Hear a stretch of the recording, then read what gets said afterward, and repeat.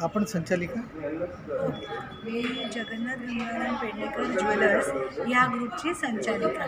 बरं. मॅडम मला असं वाटते की मागच्या वर्षी देखील तुम्ही या प्रकारचं आयोजन केलं होतं इथे.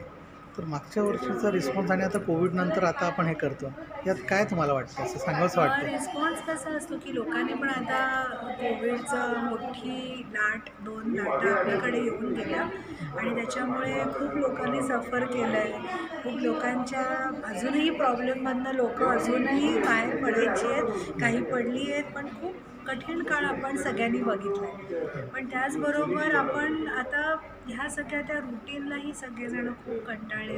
लोकांना बाहेर पडायचं आहे. तेच तेच लाईफ जगून कंटाळले. त्यामुळे लोकांना आम्हाला रिस्पॉन्स खूप छान येतो आहे आम्ही बऱ्याच ठिकाणी एक्झिबिशन्स आता केले आहेत आणि लोकांच्या मध्ये मध्ये खूप अशी पॉझिटिव्हिटी आहे. वेदर की कुठे शॉपिंग असेल किंवा कोणाला बाहेर लग्न कार्याला जायचं असेल किंवा कोणाला कुठे जाय खूप लोक खूप निगेटिव्हिटीमधनं आता लोकांना बाहेर पडायचं आहे सो आम्हाला खूप छान रिस्पॉन्स आहे. बरं. तर इथे जसं आता विदर्भामध्ये जे आहे विदर्भामध्ये काही तुमचं प्रतिष्ठान सुरू करण्याचं काही तुमचं अजून तरी आम्ही काही इकडे असा प्लॅन केलेला नाही आहे आम्ही आधी पहिले इकडे मार्केट बघतो बघतोय इकडे लोकांकडे एक्झिबिशन्सद्वारे आम्हाला आमची ज्वेलरी आमच्या डिझाईन्स पोचवायच्या आहेत. कारण खूप फरक असतो. वेगवेगळ्या ज्वेलर्सकडे वेगवेगळी टेस्ट असते. आणि नुसतीच इन्व्हेस्टमेंट म्हणून आपण बघण्यापेक्षा असंही बघायला पाहिजे की एक कला असते. ही एक कला आहे आणि ती कला मला असं वाटतं सगळीकडेच दहा ग्रॅमचा नेकलेस आहे दहा तोळ्याचा नेकलेस आहे सारखाच नसतो.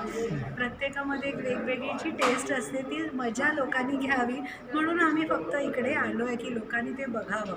आणि कसं वाटतं आहे काय वाटतं आहे हा रिस्पॉन्स आम्हाला इकडे बघायचा बरं इथे नागपुरात ऑलरेडी बरेचसे मोठे मोठे जायंट इथे आहेत. त्यात काय वाटतं तुम्हाला? म्हणजे नाही स्पर्धेचं युग आहे. स्पर्धा तर असलीच पाहिजे. आणि स्पर्धा असल्याशिवाय आपण प्रगती करू शकत नाही. स्पर्धा जेवढी असेल तेवढीच जास्त प्रगती होते प्रत्येकाचीच बरं. यात तुम्हाला असं काय सांगू इच्छिता की महिलांनी या दागिने घेत असताना काय प्रिकॉशन्स घ्यायला पाहिजेत असं वाटतं दागिने घेताना प्रिकॉशन्स असे घ्यावेत की निदान आपण जेव्हा घेतोय ती वस्तू प्युअर असायला हवी. त्याच्यामध्ये कॉम्प्रोमाइज कधीच नसावा. डिझाईन छान आहे वगैरे सगळं गोष्ट वेगळी.